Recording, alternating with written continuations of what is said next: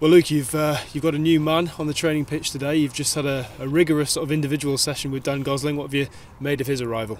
Well, you know, first of all, the, the quality is, is obvious, you know, and uh, I think uh, he had one or two injury setbacks. Otherwise, I think it's impossible to have a player of that quality in League Two. So we're really pleased. We have to be so careful with him and help him to to get properly fit and conditioned and then to understand you know the, the, the type of actions we like. But first impressions are extremely good and uh, we're delighted that he's with us.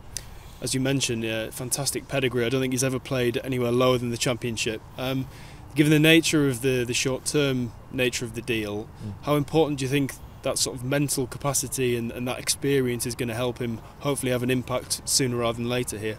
Yeah I think that's irreplaceable that that uh, type of, of experience that he has, you just cannot you cannot get that without living through it. So we're we're very fortunate with that, and uh, we yeah we just need to we need to be careful to to not expose him to something that he's not ready for because uh, obviously didn't he didn't play uh, competitive this season yet. So yeah, he has incredible uh, experience and intelligence of football, so we just have to manage him correctly.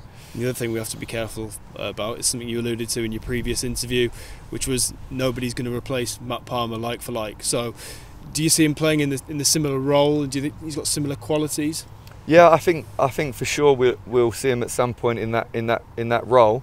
But yeah, uh, as I said, uh, it's unfair to to expect anybody to be exactly the same. All the players are unique, and we will we will try to you know to, to simulate many of the actions, and they will look different. And he has a different set of quality, but he's a fantastic player. We we we lost a fantastic player, and we replaced with with one. So yeah, going to be it's going to be different, but with a very similar characteristics, I'm sure we've enjoyed watching you prepare the team today for the EFL Trophy tie at Lincoln. Um, what's the mindset going into that one? Obviously, a win could well see us into the knockouts. Well, I hope that from your comment, I hope you you you you watched uh, a head coach and staff that are preparing thoroughly the game, and uh, the the focus of the players is there. I hope you can see that from observing the session. Um, so the aim is to try to make a really good performance and win, um, as, as, always. And I think uh, certainly we are we are not doing we're not cutting any corners with the preparation. That's for sure.